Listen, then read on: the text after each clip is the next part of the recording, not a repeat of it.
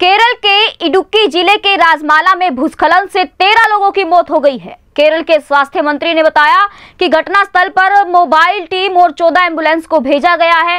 अब तक 10 लोगों को बचा लिया गया। आपको बता दें कि केरल के कई हिस्सों में पिछले तीन दिनों से भारी बारिश हो रही है।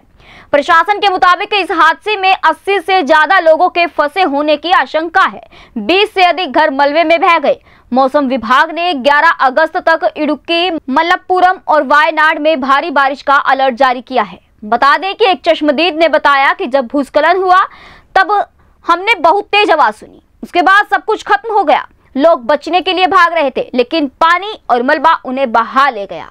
आपदा में बचे दीपन ने बताया कि भूस्खलन के वक्त वह पिता, माँ और पत्नी के साथ घर में था। सब कुछ मलबे में दब गया। उन्हें आँख में चोट लगी है। माँ की हालत नाजुक है। उन्होंने बताया कि मेरे माता पिता और पत्नी का अभी तक पता नहीं चल सका। प्रधानमंत्री नरेंद्र मोदी ने हादसे पर दुख जताते हुए कहा कि मेरी संवेदनाएँ पीड़ित परिवार के साथ है। एनडीआरएफ की टीम और प्रशासन जमीनी स्तर पर काम कर रहे हैं। हादसे में जान गंवाने वालों के परिजन को पीएम रिलीफ फंड से दो लाख और जो घायल हुए हैं, उन्हें पचास हज़ार रुपए दिए जाएँगे।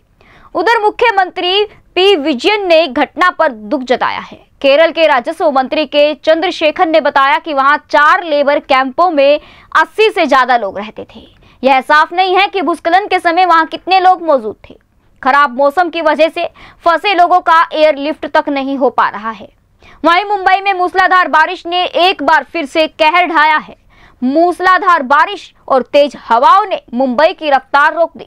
सड़कें पानी से लबालब भरी हुई हैं, जिसने माया नगरी वालों को पूरी तरह से परेशान कर दिया। 12 घंटे की बारिश से मुंबई के सभी इलाके जलमग्न हो गए, पेड़ गिर गए रेल सेवा ठप हो गई, हाईवे बंद हो गए, सड़कें डूब गई और घरों में पानी घुस गया। बारिश के कारण मुंबई वालों का जीना मुहाल हो गया। दूसरे शब्दों में कहा जाए तो मुंबई वासियों की ज़िंदगी बेपटरी के चलने वाली रेलगाड़ी जैसी हो गई। हालाँकि मुंबई में आज भी बारिश की चेतावनी दी गई है और रेड अलर्ट जारी किया गया है। भारतीय मौसम विभाग के अनुसार दक्षिण मुंबई के कोलाबा मौसम स्टेशन ने महज 12 घंटे में साढ़े आठ से रात साढ़े आठ बजे तक। दो सौ तिरानवे पॉइंट आठ मिलीमीटर बारिश दर्ज की है। दक्षिण मुंबई के लोगों ने 46 साल बाद अगस्त के महीने में ऐसी बारिश देखी है। साल 1974 के बाद अगस्त महीने में 24 घंटे में यह सब तक की सबसे भीषण बारिश है। ऐसे ही लेटेस्ट खबरें पाने के लिए बेल आइकन को क्लिक कर हमारे चैनल को लाइक, शेयर एंड सब्सक्राइब करें। धन्यवाद।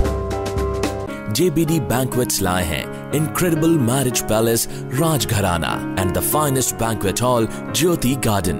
World-class catering, centrally air-conditioned, lush green lawns, state-of-the-art lighting. A perfect venue for wedding, launching and parties. Rajgharana and Jyoti Garden at JBD Banquets Enterprise.